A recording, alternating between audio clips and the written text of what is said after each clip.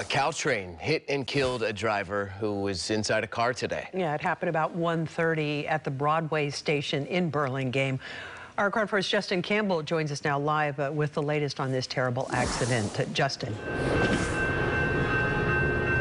Yeah, this area was shut down for roughly an hour or so. Everything is everything is back open right now. But I'll tell you what happened. You're looking at a northbound train going towards San Francisco. We'll show you some video. Here's the information that we know from Caltrain so far. It's reported that a driver of a vehicle drove onto the tracks here at the Broadway station when it was struck by a northbound train.